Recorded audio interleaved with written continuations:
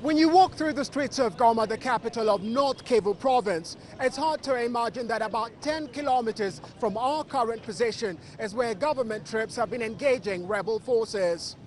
Trade, commerce and life continues as normal, even through some of the worst fighting experienced in the last couple of weeks.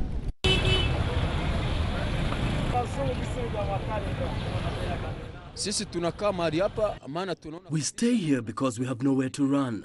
We pray to God to keep us safe because if the enemy reaches Goma, there is nowhere to run. shuka na kufika ndani ya mji wa Goma, hatuna makimbilio mengine. Ni kusema sisi tunazoea haya mambo. We are used to it, and there's nothing we can do. We can't stay hungry, so we have to struggle and make sure our children have food on the table. Ni sherti tupiganishe watoto wakule. But it's not just about a resilient people.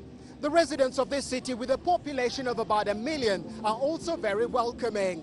Now, it may have something to do with some of the problems they've experienced in the past, or they just have a big heart.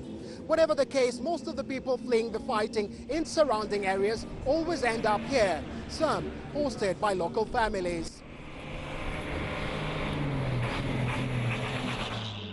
Sisi Wakongomani ndani yetu, ndani ya roho yetu We Congolese have a lot of love in our hearts. If my brother has fled Kibati or Ruchuru, I can't just leave him sleeping on the streets. Even at my home, if there is a family with 10 children, I won't let them sleep outside. ndani ya barabara. ule mkongomani ambaye amekamilika kama vile mkongomani It is something inside all Congolese nationals. It doesn't matter how small the shelter is. We can't ignore the suffering of our brothers and sisters. We come together. It's our nature. wao wanachangia vitu pamoja On the surface, everything appears normal, but below it, there are just too many problems. This conflict has taken its toll on the city, its people, and the economy.